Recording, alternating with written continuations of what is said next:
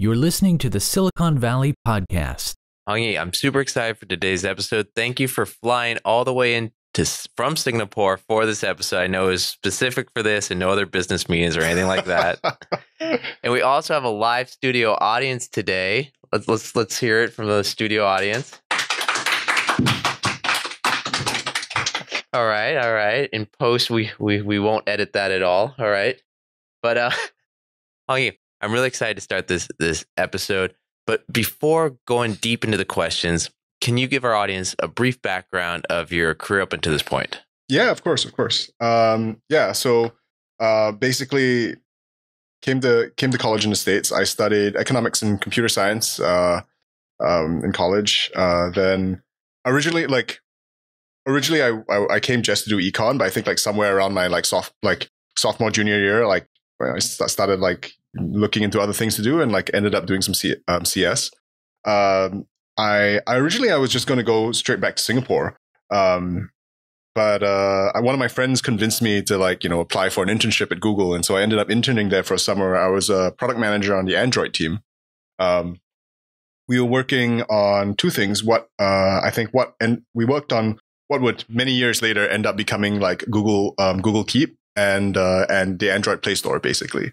Um, so yeah, uh, and so after that, I was like, oh wow, like you know, I'm just this kid who barely knows anything, but like you know, this the, the stuff that like the stuff that I have input on actually goes out to like millions of people all around the world. This this this that's sort of like what convinced me that like there's probably something like worth doing in tech. Um, and so after graduating, uh, I joined Google for a couple years as a product manager. Um, I started uh, I started out on the infrastructure team. Uh, we worked on like distributed databases. Uh, Spanner, if you know what it is, basically it's Google's like you know like both very scalable as well as like SQL sort of like uh, database. Um, and then I worked. I moved on to work on image search. Uh, when image search, you know, if you go Google and you search for images, you know now now nowadays you can see that when you you know, there's a whole bunch of like related images when you ever look at a single image, and there's a whole bunch of sort of like different categories at the top of the page. Um, and like you, you know, when you click on an image, you don't have to go to a different page anymore. You see it like you know, you just have the image show big on the same screen. Like that's that's this kind of stuff we were working on. Um, and then after that, I I went back to so after a couple of years in the Valley, um, I went back to I went back to Singapore, uh, joined the Singapore government, um, and I've been there for the last like basically basically like nine years now, I think. Um, and let's see, yeah, I think for the first for the first few years, and, when I was back in Singapore, I I wasn't exactly sure what I was doing. Uh, you know, you come from Google, you build tech, you go, and and the government's very different. Uh, and so for the first few years, I was trying to like do some projects here and there, but like I think just like the norms of like whether or not to initiate a new project is very very different. Um, but somewhere around my like third or fourth year, I think uh, basically like we got a little bit of funding uh, and like we managed to stuff like I managed to like put together a small team um, and we started working on data.gov. Uh, data.gov is Singapore's like, um, how do you describe this? It's, it's our, it's our data sharing portal. So I think that, you know, the US is a data.gov as well. So we have data.gov.sg. It's a open data sharing platform for the Singapore government and the, to share data with the public and between government agencies. Um, from there, our team sort of like started bootstrapping and working some other projects. And so we started like, you know, as a sort of, you know, skunkworks kind of thing. We would build like some side projects and you know, a lot of them didn't go anywhere, but like a couple which caught on were like uh, Parking SG, which was a it, it's an app to pay for street parking. So in Singapore, you know, you park on the side of the street, you got to pay for it. Normally, you have to use either like you know, in the US you have meters. In Singapore, we have like coupons you got to buy, um, and we replaced that with an app. Um, we built Form SG, which is like it's a bit like Google Forms, but for but for government. Um, and so you know, this government is very famous for having a lot of paper forms, and the idea was to just we need to get rid of all of those, and so we built Form SG, which was a form building tool. Um, and then we built like a couple others. Like we built like you know a website building tool. We built like a link shortener and things like that. Um, and I think from there the team just sort of grew.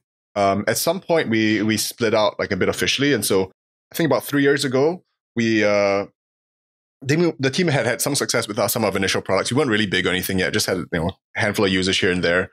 Um, but basically, I, I think I came to like the conclusion that like it was going to be really really hard to sort of have a successful sort of tech initiative in the Singapore government um, if we didn't have like some change in how, you know, I guess in how the organization was structured.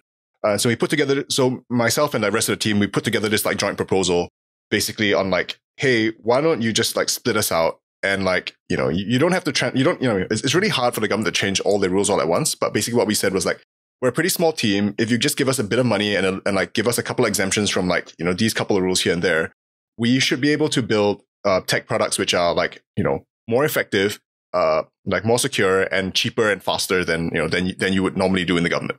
Um, basically, like my theory was that I had seen how tech companies were organized differently, and like if I could use that to build a team, um, then I think I thought we could have a more effective team in the government. And so that was three years ago. Um, we started out at like 30 or so people.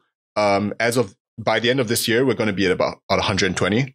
Um, so yeah, the, the, team's been pretty successful. Launched a whole bunch of different things. Most recently, we built uh, things like like most recently we built like the vaccination um, sort of like the vaccination portal for for the public. So you know we have the all all five million people vaccinated or whatever. You know it. We built a website that you know to do all that. Um, and yeah, and I think maybe on a sort of lighter note, we built a we built another we built a tool for the government basically to make it easier for the government to give out money. Um, so it's called Redeem SG. The idea here is that like you know the government actually quite often wants to distribute vouchers and stuff to the public, but distributing this money is actually really really hard. Uh, and so we built a very simple sort of like you know digital voucher tool where you know basically the government would just say say I want to give all households or all individuals or whatever like you know fifty dollars, hundred dollars to spend at these places, and like you just you'll get a you get an SMS, and like you have a link to the voucher, and then you can just like you know scan the QR code and whatever, and the merchant scanning it will get their money. And so that's that's you know another example of a, of, of one of the things that we've built. Um, but yeah, that that brings us more or less to today, um, where where we're sort of running this team and like you know trying to trying to scale it further.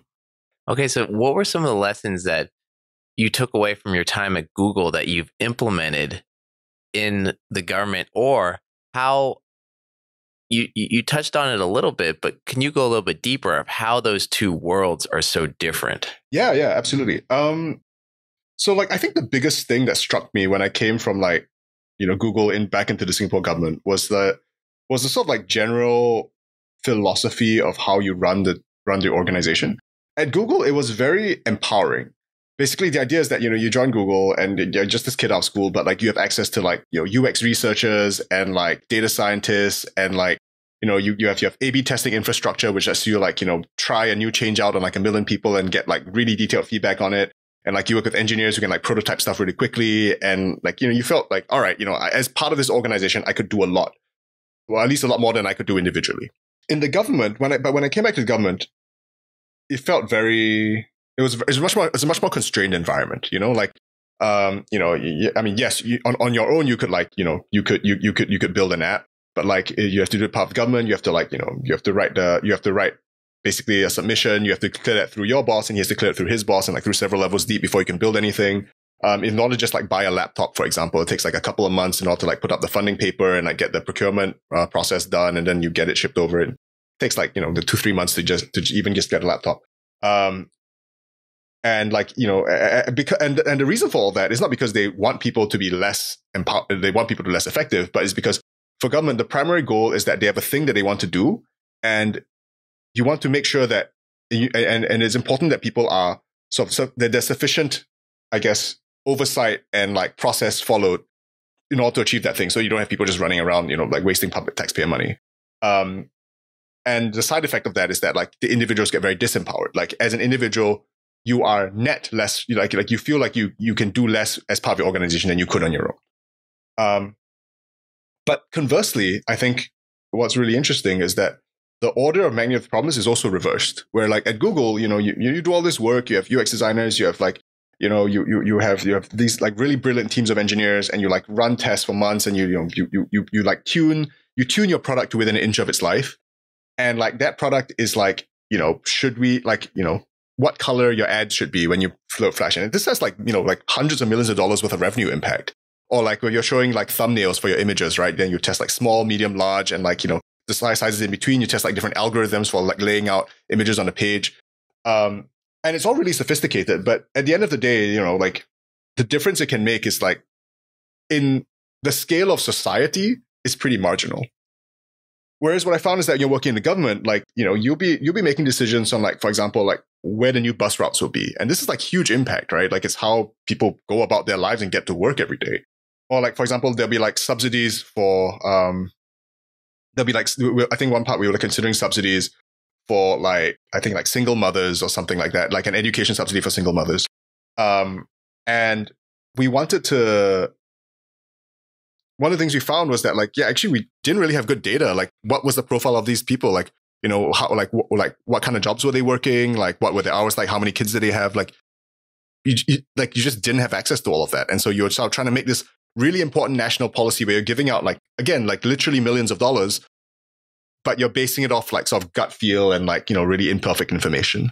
Um, and so I think that's the sort of primary difference. You like in the government, uh, you're much more constrained, but the targets you're hitting, I think, are like a lot, a lot more impactful. If that makes sense.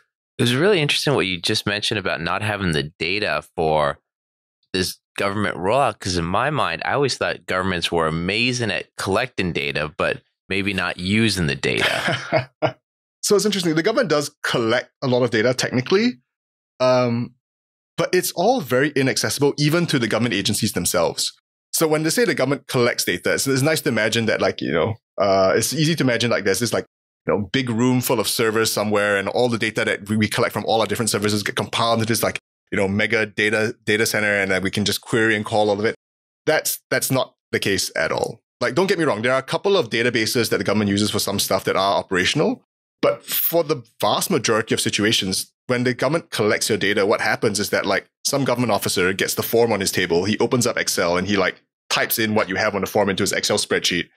And he doesn't he doesn't take that Excel and like, you know, push it into a database. That Excel file is the source of truth for like for example, like all the people who are getting scholarships that year, or like you know, or, or like what the parking uh, what the parking fines are for this particular area. Like it's just it's not living in like the cloud or the central service. It's just someone's file on someone's desktop, and like yeah, it's it's just whatever the guy typed up. So so you know, for his purposes, for the guys executing doing that work, you know, he can use this. But like if someone else somewhere across the government wants to like maybe find this out, you don't even know if this exists, and you of have to ask around and like you know, God, you know someone does this, someone who does that, and then you have to get clearance to whether or not you can access it because like different government agencies don't have free access to each other's information, and in fact, you know, there's a lot of like there's a lot of like sort of like regulations on like what you can or can't share, and even outside of regulations, people are a little cagey about like, oh, you know, what are you going to do with this? Um, so yeah, like it's it's non it's non trivial. I would say data sharing and within the government is like probably one of the biggest challenges we have. So with these challenges that you're talking about, well, at least here in Silicon Valley, kind of the I don't want to say the career path for many, but at least for some, it's work at one of the FANG companies, you know, Facebook, Amazon, Google, whatever, and then branch off and do your own startup where you went the exact opposite. Instead of this free environment to just create, it was okay, now kind of pigeon toed. We don't have access to data. We might have access. What are we doing here? Who do we report to? We have 10 levels of, of sending documents. Why go that route? Why not do your own startup? The reason I went back at all was because I was a government scholar. And so I had to, you know, I had to go back and work in the government for a few years. But my original plan, you're absolutely right, was, you know, go back to Singapore, work there for a couple years, um, you know, quit and then go back to the private sector, you know, either go back to Google or like maybe do a startup with some of my friends or something like that. That was the original plan. Um, I guess the question is more like why I stayed. Cause it's been like almost 10 years now. I'm still hanging around like well beyond my, my initial, my initial planning norm. And basically what, I don't know, like over the last like decade or so, I, I've slowly come to the conclusion that like you can't substitute government uh, like you can't substitute government with like private sector. Like I mean, you can a little bit, but like this is always this idea, you know, especially in the valley. There's this idea people want to make impact. They want to go and and and they sort of tell themselves that like, oh yeah, you know, you can make impact from the government and from the private sector, and it's true to some degree. Um, but you've seen this over and over again when you look at different cities, right? And you have different cities where like you know you have a lot of like in you know, San Francisco. You look at like New York, um, and there'll be like all this money there and like a lot of intelligence, a lot of creativity, a lot of drive, just like tons of that. But if the government doesn't function, the city doesn't function. Right. And it doesn't matter how rich people are. It doesn't matter like how many billions of dollars are running around. Um, just, yeah, if the government doesn't function, the city just goes to hell pretty quickly. Yeah. Um, and, but when the government has the, when, when the government does manage to sort of get their shit together, um, things can improve really, really fast. And you've still seen that in a lot of places. And, and that's sort of, I guess, where I'm at, which I, I've sort of come to the opinion that, like, if you're trying to make sort of, you know, if you're looking at the world, right, and, you know, uh, we have like a ton of innovation for like, you know, VR stuff and like ordering stuff online and like having like virtual assistants and all that good stuff. But if you're looking at really just like baseline, like uh, human development indicators in developed countries, right? Like education levels, like access to justice, like access to healthcare, things like that. These are the areas where there's like very, very, very little innovation. It, it, and, it and it barely improves. Um, and so if does it really matter if like you know you you, you know there's a better way of watching movies now versus like if our like childhood development indicators aren't improving um, so my theory essentially is that the only way to dramatically improve human society is to improve how our governments run. And the only way to dramatically improve how our governments run is through technology. That's, um, yeah, like, like you're not gonna, you're, you're not gonna have like, you know, we've been doing sort of like, you know, dem- democracy now for, you know, a couple hundred years across the world. And no one's gonna come up with like a dramatically new way for writing papers and passing, you know, legislation that's gonna change out. Like this is about the field of what you get to. The thing that you can do is like by automating stuff, by streamlining stuff, by like, you know, getting rid of all the paperwork, and that can dramatically improve the efficiency of government. But you're not to get there if you don't use computers. Um, and so that's sort of why I stuck around. I think that, that my my the measure in my mind is that like you know if you're if you ask us if you ask yourself the question of like how can you have the most positive impact on the world given you know my particular set of skills and circumstances, um, the answer seems to be well help the government figure out how to use computers. Um, and so that's what I'm doing. So going back to you're a government scholar. Yeah. Here in the States, I mean, I don't think we pretty much grasp what that is. Could you talk about that? And I'm also curious on that if after you graduate, you work, you have to come back. Does that mean that the Singapore government's taken the brightest, brightest, best students? Does that mean that they're working in the government instead of starting their own companies. How does the government scholar affect kind of the economics of Singapore? Oh yeah, yeah, absolutely. Um, so the way to think about it is like it's just moving recruiting, like like early recruiting, to its like logical conclusion um, I don't know I, if I'm understanding this right. Nowadays, like companies when they're interviewing stuff to hire, they they push it like it's not even like senior year, it's not even junior. Year, it's like the start of junior year. You already start interviewing to hire. Um, in Singapore, what happens is that um, after high school, like you know, you get your grades in Singapore. We do the A levels basically, um, and if you have good grades, you can apply for scholarships. Um, there's and you know, there's a whole bunch of different scholarships, right? And the scholarships um, are from like you know there's from the government as a whole and then there's like particular government agencies and even like some of the companies like you know like the banks or like the airlines sometimes some of them offer scholarships and the deal is essentially that all right you apply and if you're a good student and we think you'd pass the interview and you're, you're a good match um, the scholarship provider and most of the time in this case the government they will pay for you to go to college and you know for singaporeans going to college in the states is a very expensive affair um, uh, but in exchange after graduation, you have to come back and work for them for like X number of years, anywhere between four to eight. Uh, not the average is six, basically. Uh, and yeah, and, and and that's the deal. Um, so what happens is you're right. Like, if, if, if, among the sort of like top students, generally speaking, your paths are you go to med school, um, you go to law school, um, you become a government scholar, or you go into like banking or finance or something like that. That's that's generally like the paths that you go into. Um, so it does like lim- it, it, it, there is some amount of substitution, I would say, and not every and, not, and like it's not the majority of people who take scholarships, but like a good chunk of them do. How does that affect like the market? Like I I I never really thought about it in that way, but like you're right, it, we don't have that much entrepreneurship in uh, like at least up until recently in Singapore. Like we traditionally didn't have that much entrepreneurship from people coming out of school. Um, and that might be because of that. I, or it could be the other way around that people aren't the entrepreneurial to begin with, and therefore they take this a more safe path. I'm a bit hard to tell, but you're, you're, you're right. It does, it does, it does have that effect. Um, actually, there is a fairly large sort of like fall off rate. And so like the government gives out a lot of scholarships. And after the bond ends, you know, some people like me hang around. Um, and, you know, and, but for a lot of people, you know, they, they, they go back to the private sector and some people go back even earlier. So you know, people who are government scholars, they go on to, you know, they, they, they go back to work in like in for my friends at least, some of them go to investment banking, some have gone to like consulting, some have gone to do startups, some went to like do I think you know, some some go to do like design agencies or things like that. They really just go all over the place. I mean, you're fairly educated, you know, uh, capable person. You can you can do a lot of things. Um, so I think it probably has some effect on the just out of school demographic, but I don't think it has a larger effect. I mean, like after, like ten years out, basically, I, think it's kind of it's kind of like whittled down. And, and, we don't have to go in too much detail, but you did mention the startup scene. What is the startup scene like in Singapore?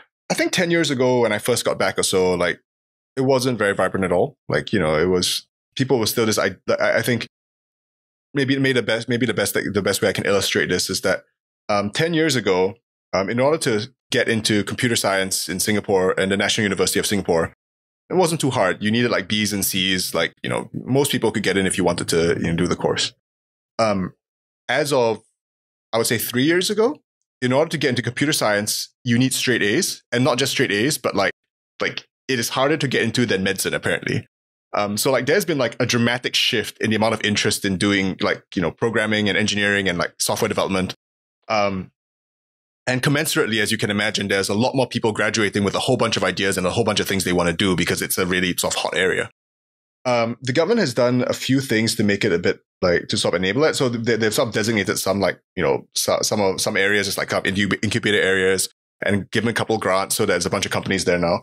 Um, and I think a couple of the VCs from the Valley have like sort of like started moving over and like, you know, started small funds there. Um, so I think it's starting to be pretty vibrant. My understanding is that like the crypto scene is pretty vibrant, though I don't know how much that is true anymore. Um, but yeah, there's a, I would say one of the interesting things is that the startups in Singapore, um, they tend, they like, they, they maybe start up in Singapore, but they eventually all try to branch out outside of the, outside of the country because Singapore is only like five to six million people. Like there's only so large a market. Um, and so you try to internationalize at some point.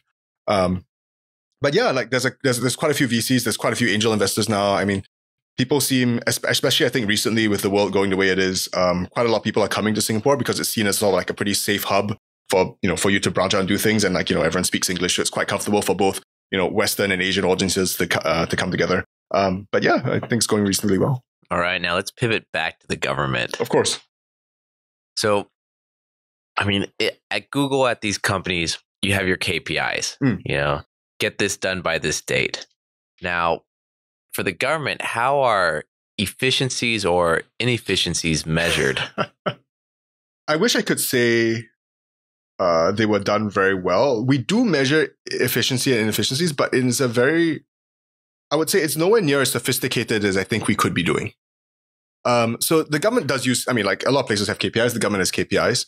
Um, but KPIs as a system is not sort of a magic bullet, right? Like it matters what the KPIs are. And often when it comes to government goals, KPIs, like setting good KPIs is really, really, really hard.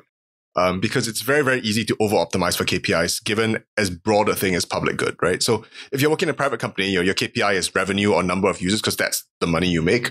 Whereas if you're trying to like build community, for example, right? Let's say you, let's say you are, um, let's say you, you, you're part of the community development council and your, and your job is to like build community in Singapore. What's a KPI? Um, so one example is you can have a KPI for like number of people attending your events, which is great, but actually you can imagine how that backfires, right? Like it means that like uh, a lot of the community centers don't have like loitering spaces. They are just basically like big halls where you organize events and you book rooms, but it's not a natural center for community necessarily. Um, another KPI you could imagine having is like, you know, let's, let's say a number of downloads, uh, for, for a particular app. Um, which again, for a, for a private company is like great. People are downloading an app and using it. Uh, whereas for a government agency, you're like, well, this is taxpayer money. We're like basically spending their own money and getting them to download an app, which they themselves are paying for, but may not, may not get much use out of. Is that really useful? Like, you know, um, and so, you know, once you get into sort of the broader goals like access to justice, and like set, I think one of the that's one of the major difficulties. Um, I think that is probably one of the biggest problems you have you, will find in government, like where we la- we we haven't set up as robust uh, sort of instrumentation infrastructure as I think we should have. Um, so so right now the the government works in a very traditional fashion, right, where it's very soft top down, and the way you know leadership hears about you know gets information about the world is through reports And so you'll have, you know, you'll have you'll have the ground staff sort of like compile a whole bunch of stuff and they'll like clear it through the the, the directors and directors will clear it through like the senior civil service leadership who then staff it to the minister. Um, and by the time they hear about it, it's it's like a couple months late even, uh, and and like often missing a lot of detail. So I do think like one of the things we should be doing a lot more is, for example, having it like you know, like like having an easy way for the minister to know like a quick summary of what the questions people are asking, which we don't have right now. Um, efficiency is measured in terms of they do measure efficiency in terms of benchmarking. Um, so if you have a very clear, like, you know, if you buy like, you know, standard government procedure, you have to ask for three quotes and all that. And if like you're buying, you know, if you're buying a bicycle and the bicycle's way more expensive than what the bicycle should cost, like that, that's gets flagged out by the auditors and things like that. But it's, it, it, it's reasonably okay at handling line item efficiencies of like over and undercharging. It's not that good at handling sort of like more macro scale inefficiencies where like the structure of the project is wrong or like actually this could be achieved in a much simpler way if you took a different strategy. So, uh, which is expected. Um, so yeah, it's a, it's a bit hard of a question to answer, but, um, the short answer is, uh, we try our, we, we, try, we're not doing it anywhere as much as we could be doing. Um, and it sort of works to catch like really simple stuff, but, it, but it allows for like, I guess, much more sort of large scale inefficiencies to occur rather than small scale ones. Now you're talking about large scale, small scales inefficiencies. For the government, are efficiencies linear or logarithmic? Yeah, so this is something I've been thinking about. Like, I've realized that efficiencies are like, yeah, like logarithmic slash exponential, depending on which way you're looking at it.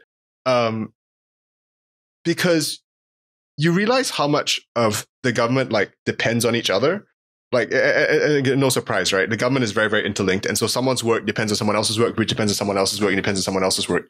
And so it's not like, you know, and when something's inefficient, you're not saying like, oh, you're losing 20, 30% more efficiency if you, if you were to streamline this. Like every person who is like slow is a multiplier. And so like if if everyone is like half as efficient, um, then that's not like everyone it's, it's not 50% overall. It's half times half times half times half. Uh, and so you like, you know, your, your productivity drops very, very, very, very quickly. Um, and, and so I know Singapore, generally speaking, has a bit of a reputation that the government works pretty well. And I don't get me wrong. I mean, by and large, it more or less functions, but you're sort of seeing that like, oh, like there's so much more potential that it could have. Um, like a lot of the efficiency is like, you know, you realize that you can have teams, you can have arbitrarily large teams do arbitrarily little. And this is just true across like any organization, not just the government, not just Singapore. Um, and so, you know, you, have sort of seen this all the time, right? Where like, you'll have these like big incumbent companies and they're trying to build an app and they can't do it with like teams of 200 people. But then these like two kids out of Stanford or something like put together something that like looks and works really, really great. And that's sort of like the conclusion I've come to that like a lot of the times it's you're, tr- you're, you're trying to, you're, you're trying to make sure that you have just enough parts so that all the necessary components are connected, but not so many parts that you have like dead weight between the components and like just passing messages back and forth. Um, I don't know if that makes any sense. It, it makes sense, but uh, then I have to bring up the question of how does one go about doing that in the government when everyone gets either voted in or kind of placed into these positions where you're like, oh, great. If we only get rid of these four steps, we'd be so much more efficient. Yeah, yeah. So, so the, the theory I've come to this is like uh, you, you have to. Th- I started thinking about uh, organizations as like Rube Goldberg machines. I don't know if you're familiar with what a Rube Goldberg machine is. Tell our audience. Uh, basically, like I don't know if you've seen those like videos or comics where like you know some guy rolls a marble and a marble like knocks over a domino and a domino like you know switches a light switch which like turns on the fan and like does a and at the end of the day, it does like this really, really like fantastic, complicated affairs. And the end of the day, like, you know, it turns on a TV or like opens the door or something, right? I watch a lot of YouTube reviews. yeah, really fascinating. But but there's a few properties associated with that. One is that you can make an arbitrarily simple task arbitrarily complicated. And not just arbitrarily complicated, you can make it arbitrarily complicated while every component of that being being critical. So every step in those machines that you watch, every step, if you took away the marble if you took away the light switch, the whole thing would just stop working. So it seems like everything is critical. And not just critical, but like you get arbitrarily specialized, you can get arbitrarily like specialized tasks just to get things from A to B, you know? Like, and when you think of an organization, this can happen with people too, where like person A passes person B passes person C and so on and so forth.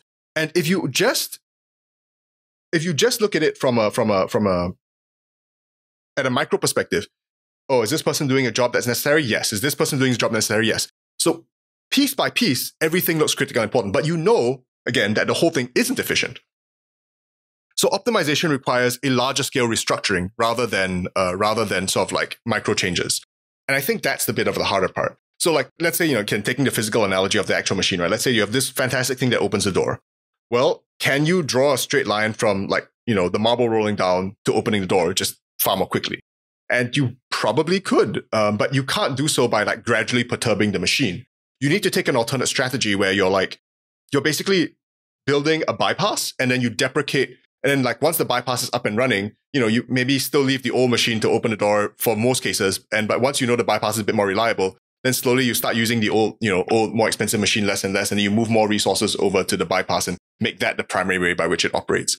Um, and I think this is this is what happens naturally over time, you know, just through a sort of evolution, like not so much evolution, but like from a from a like almost geological process. Like if you have random perturbation in the organization and people like latch on their positions here and there and they go here and then there's there's this like you know there's this continual stream of you know efficiency where people who aren't where, where job roles which aren't uh, doing anything useful are deprecated and rationalized.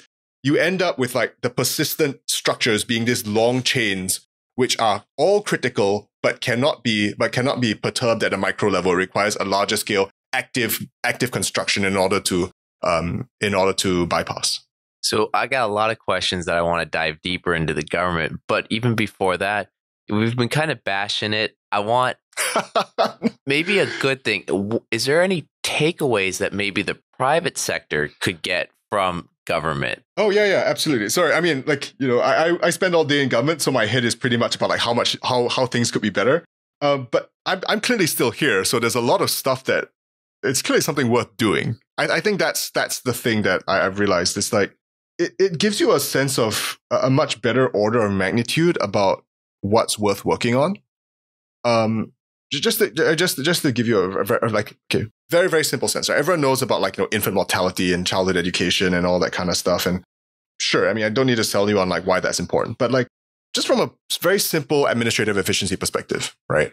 Um everyone knows the government has a lot of paper right? It's got a lot of like a lot of paper forms a lot of things you need to fill in and it's just all over the place um, one of the tools that we built was uh, a form, like a digital form building tool. And like again, it's, it's, a bit like Google Forms, but like you know, it's built specifically for the government. Um, it does some encryption stuff that makes it a bit, you know, makes it acceptable for government officers to use and things like that. That form has, I mean, we've got about 150,000 forms on the platform right now, which again, compared to you know private companies, doesn't seem like a lot. But once you, but once you realize that, like before this, to make a government form to make a digital form for the government you know in the in the traditional way where you know you gather requirements hired a vendor put it together user test it. Took like you know maybe three months at very least and probably at least like 50 to like a hundred thousand dollars. Let's say hundred thousand just for simplicity's sake right? Now so if i've got 150000 forms on my platform and each of those forms would have cost like you know a hundred thousand dollars to begin with that ends up being like what 15 billion dollars worth of forms? Um, and not to say that that's we would have actually spent that. But that's to just show that like without a tool like this, this dream of like going paperless in the government was just not achievable because no one would have spent $15 billion to build, you know, 150,000 like digital, you know, digital forms. They would have just been like, oh, digitalization's hard and then not done it. Um, similarly, like if you look at websites, right? Like, like, you know, for, for, for like the websites that people access for the government, um, like uh, during the last uh, during the last year, you know, Singapore, as as most countries, we are sort of moving out from this like lockdown, like kind of like you know closed down scenario to like a more open, like you know, you know, people can if they're sick from from COVID, they just stay at home kind of scenario. Um, and obviously, a lot of the requirements changed, right? A lot of requirements changed, like a lot of the regulations changed, and people were confused as to what the instructions were, and and you know, people are rightly scared that if they don't follow the new, like if they follow the old instructions, uh, or the new instructions, they might get in trouble one way or the other. Um, and so with government, traditionally, all this, this happens because government has like there's 10,000 different, you know, well, not 10, but there's like 100 different agencies, quite literally almost, and all with all of them they have their own sort of like different measures, and they're all some put it on press releases, some post it like on the website, some like release a circular, or something like that. Um, and just by like compiling all the information into one place and having it just on one website where people could read, that like dramatically simplifies like people's understanding of things because and it's not the kind of thing where you're going to make like a ton of revenue from a go, but like it's the kind of thing where people like were really, really stressed out and like scared and frustrated before because, you know, they both have to deal with the pandemic and like the fear of government sort of like, you know, of, of like getting fined for not doing, uh, for, for, for breaking some regulation. But now they just like, oh, okay, it's laid out here very clearly in one place. I can just sort of move on with my life.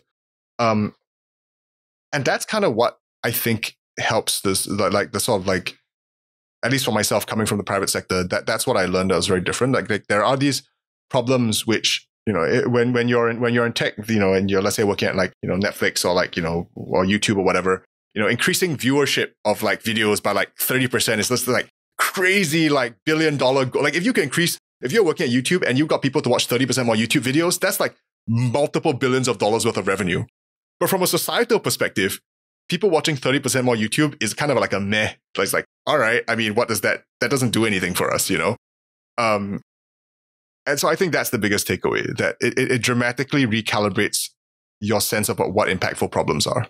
Okay, then then diving deeper in that the impact of problems. I guess kind of two questions. One, what do the different branches of the government or different groups say there's 100 groups but say there's one where it's we're here to have more affordable housing and then this group over here is more environmental friendly no more new buildings and they clash or how how does the overall look at when we implement this how it's going to affect the local culture in the decision? So i mean either that kind of broad um so th- there's a few there's a few ways you can address this like the first one is just the cop out answer which is that like you don't bother dealing dealing with that stuff first my personal opinion from looking at how government operates, even in Singapore, uh, where we're supposedly efficient, is that there are so many gains to be made just from like streamlining efficiency that like are just they're just free wins. You know, like like if I can get your application times down from like three months down to like a day, you know, and for me to get back to you, that's that's a win. If I can like get data in so that like I'm not like you know I, am not wasting time building houses that uh, that actually no one had any demand for, that's a win. Um, and like there are all these things which are just straight up like you know that that in tech in the tech world are obvious, right? Which is that you know you track your metrics, you track your users, you you you know you you A/B test, you do all this stuff, and you can get a lot of that done even before you talk about any kind of like you know opposing goals, uh, kind of objectives, and and that's I think if nothing else, and you're not sure what to do, like tons of stuff to do there. Um, but that being said, you're right. Like there are some goals which you know do conflict with each other, and that's where you need to sort of appeal to what the underlying like underlying objective is. Um, so, for example, uh, when we were trying to build uh, some of the some of the COVID systems in the last year, right? You know, you know, it, it's everyone who works in tech knows this, right? Everyone wants everything fast, secure, reliable, like scalable, like all all within a all within a short period of time. You can't get all of it. Um, and so we were having some discussions because our team, which was building a product, we were told to get it up as quickly as possible. But the but the cybersecurity agency, which is the you know the agency that handles Singapore cybersecurity as a whole, was like, no, no, no, we're required to like do pen testing on this. You know, the minister said it's really important. This is a critical system. We have to like put it through all these paces. And we were like, yeah, but the same minister told us to get it up quickly. So like, you know, what are we going to do here? And the short answer is that, well, you, you just have to fig- realize that the goals that you are individually given are subsets of a broader goal. And then like, once you recognize that, you escalate accordingly. Um, there's always going to be some judgment call that you have to make, like, because what is a good and just society is not something everyone agrees on. But actually, I think a lot more than you think is like from a common sense perspective sorted out, right? And so you, we, we what, what we did then was that basically we were like, all right, given that we know that this is the case that, you know, we've been asked to do these two opposing things in this scenario, and it's reasonable, right? The minister should ask the security agency to make sure security should ask us who are building it to build it quickly. Um, you just sort of say, okay, we think that this is a reasonable measure between security and speed, and we just escalate them being like, is this a reasonable trade-off to you? Okay, and then we move on from there. Um, so it's sort of this idea of like axiomatic um, axiomatic escalation, um, where every goal that you have is actually a representation of a more fundamental goal, and like you know, at some point you run out of you know your your your mental model is unable to go, but you can escalate at least a couple of steps up in order to find out what your common goals are. Okay. And, and for a US company, whether it's startup or big company that's thinking of entering Singapore, any tips, tricks, or what should they know? I mean, it depends on what you're trying to do. Um, so if you're trying to enter, if you're trying to enter the Singapore market, I mean, Singapore is like mostly English speaking and stuff, and so it's not too different. Like Singaporeans are quite happy to use, uh, you know, quite happy to use like sort of you know American web services and things like that. Um, I would say the main like thing is like you know if you're trying to recruit and if you're trying to build in Singapore, I would say that your a lot of the a lot of the environment in Singapore is a lot more flexible for people to move in and out and so like I think that's I mean this is this is the sales pitch that I guess uh, some not myself but some of the some of the other but for, for you know the, the agencies who are responsible for this give but the idea is that like it's a lot easier to bring people from different countries into one place in Singapore because immigration is actually fairly flexible as for, for, for skilled workers. Um, and like if you want to bring people from like Europe and the US and like China and like Indonesia all to work in one place, like it's a pretty good place to do it. Um, I would say the main thing that you'll have to recognize though is that Singapore, the market as a whole is pretty small. And you need to recognize that Singapore is very different culturally and market wise from the surrounding regions. So you, you don't come to Singapore because you expect like the Singapore market will be representative of Malaysia or Indonesia or the Philippines, because it's really not. They speak different languages, different backgrounds, different culture, different expectations entirely. But it is a sort of good home base where you can set up shop and then you can go work on these various areas, knowing that they will require some degree of like sort of like um spe- like specialization in order to in order to crack particularly well. Okay, and then before wrapping it up, what technology that's happening in Singapore right now is really exciting to you? What technology is happening in Singapore right now that's really exciting to you? Um, or or renovation of smart cities. What what's being implemented that you're like, oh, this is nice? Um, I mean, I can tell you a couple of things that we're working on together with some of the government, other government agencies, and that I'm really excited about. Um, so the first one is uh, we're working on we're working on Scam Shield. Uh, it's just is this it's not it's not so much a product. It is a sort of like it's an initiative to like try and protect people from scams because what we've realized is that in the past two years, especially, the number of scams has gone up just tremendously. These are phone, email, like SMS scams and things like that, and like so much so that it's like it's almost half of all crime. I think are like these digital scams where people get lose money to you know some guy basically um, e- either like swindling them and somehow like convincing them that they're some like they're, they're from the police and they need some money or whatever.